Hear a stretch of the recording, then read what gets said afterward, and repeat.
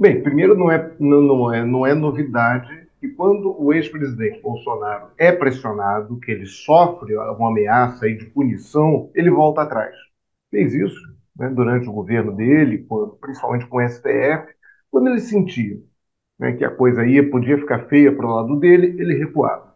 Agora, independentemente se foi ele que postou ou se foi o Carlos Bolsonaro, a responsabilidade é do Bolsonaro. Na medida em que ele entrega a conta pessoal né, das redes sociais para, um, para uma outra pessoa, ele vai se responsabilizar. Né? Quem pariu o Carluxo que o embale. Isso é, um, isso é básico. Né? A responsabilidade é dele. E, e, não foi retirado imediatamente o vídeo. O vídeo ficou ali mais de uma hora, parece que duas horas na rede social é, do ex-presidente. Isso é muito grave. Né? E aí vem com essa desculpa agora, ah, foi morfina.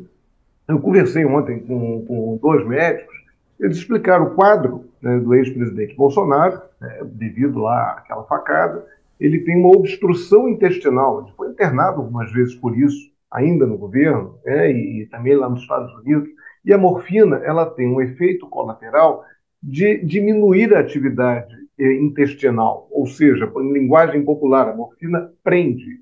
Se o, o tratamento é para que Bolsonaro retomasse a atividade intestinal, é, ele não poderia tomar morfina, porque a morfina ela, ela reduziria ainda mais esta atividade.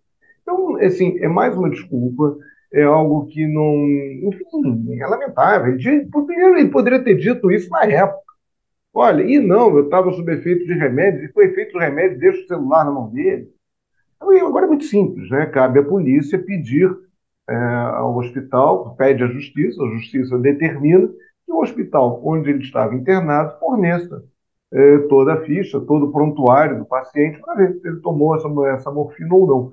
Agora, é mais uma desculpa, uma desculpa muito canhestra nessa história toda.